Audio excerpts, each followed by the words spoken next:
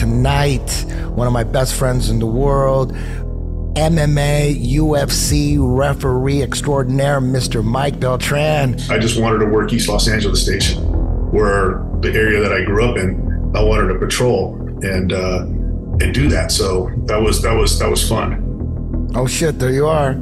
Oh man, you look like you're ready to go to war. I got licensed in California in 2007 to be an official, and then it, it went from there. What was the craziest fight that you ever refed where it was just insane, like like the mass brutality or, or anything crazy?